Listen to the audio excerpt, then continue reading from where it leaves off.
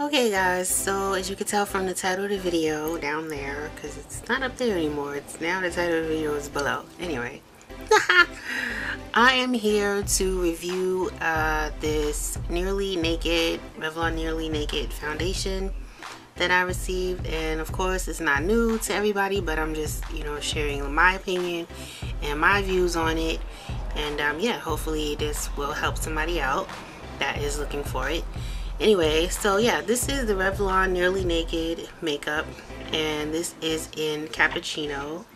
I don't know if you can see that but yeah that's my perfect shade is cappuccino so yeah. I also have the Nearly Naked powder the matching powder that comes with it and my color is deep. So it says right up here color deep and all of this stuff will be down below along with a couple of other videos that you guys probably missed. And um, yeah so now I'm just going to show you how I apply it.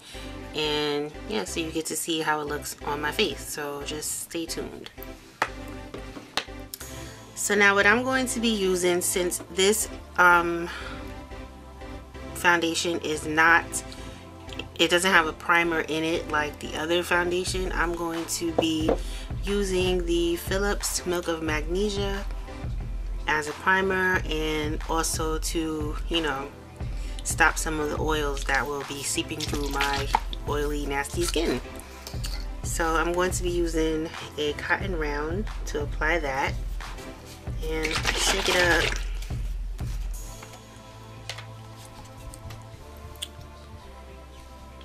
just put it on the cotton round and I just apply this to my face.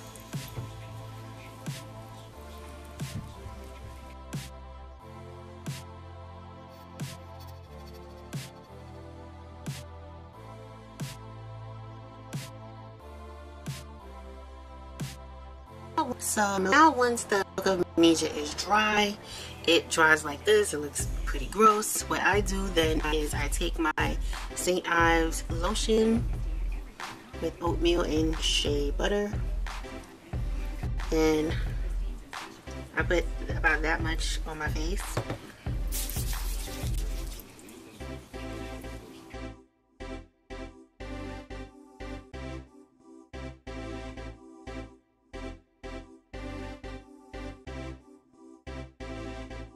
Lotion. Everything is nice and smooth. We have a nice base. Now I'm going to go ahead and apply the Revlon Nearly Naked and I will be using this e.l.f. stipple brush to apply it. And yeah so let's go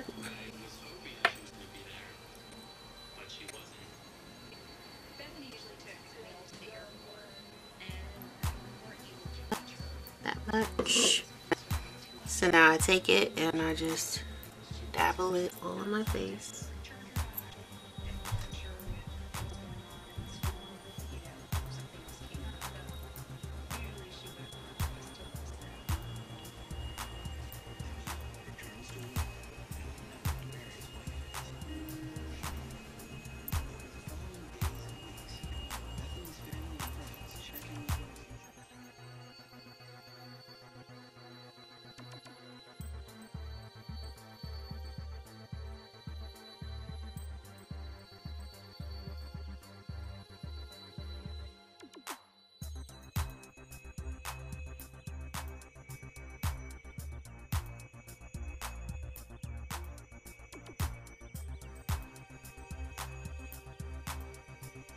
Hey guys, so I stopped the video because my lighting was all crazy because my curtain is red and the sun peeping through. My curtain made my room red therefore made my makeup look crazy. So I wanted to give you guys I wanted to let you see how this makeup looks in real lighting. So yeah this is how I apply it and I only did that one application. And one thing about this foundation it is buildable. Um, it does have really good coverage. As you can see I did not put on any concealer at all. So I'm pretty happy with that that I don't need it. And it is my color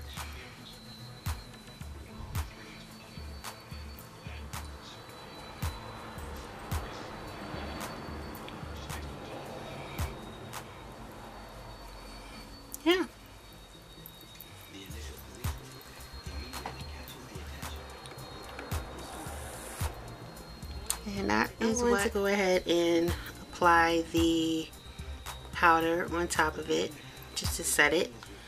And I'm going to be using this Sedona Lace powder brush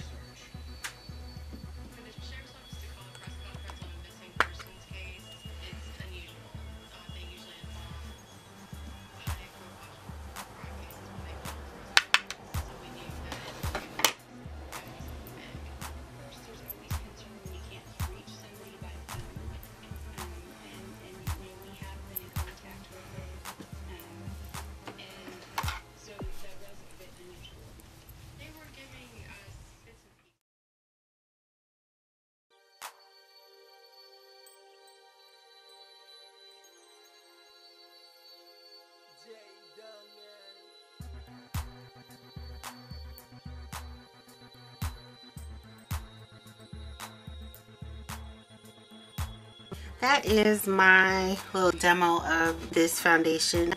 And uh, yeah so this is in deep like I said before and it comes with a little sponge applicator that I'm not going to use and they just put it right there.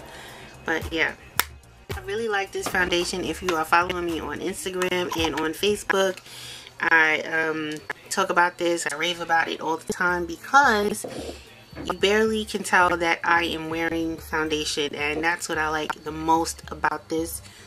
This stuff is awesome. I recommend it to anybody. Um, it doesn't leave my face looking ashy. It doesn't leave my face looking chalky. It's just a really beautiful glow and it lasts throughout the day. I'll insert some pictures probably at the end of the video. Um, and just in case you guys don't have Instagram and you're not following me of how it looked um, you know, when I first put it on and then later on in the day, maybe about eight hours later, it still looked flawless. Um, because I use the Philip Milk of Magnesia, it helps to absorb the oils in my skin. So you don't really see, you know, the oil build up at the end of the day. And um, yeah, you don't need concealer with this. Not me anyway. And I have a lot of black spots all over my face. So you would think like you know, I would apply concealer first, but I don't really need it. I like it.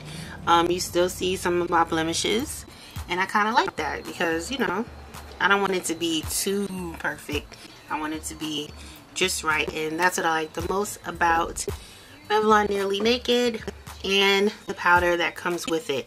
These retail for about $10 each, and I caught them on sale on Rite Aid. Again, if you follow me on Instagram, you know about that sale. So I caught these about for about nine. I mean five five ninety nine. It was like a forty percent on sale. So if you could catch a sale, that's perfect. If not, it's still okay. It's well worth the money. And yeah, you won't be disappointed in this. So um, that's it. And I'll talk to you guys later. Bye.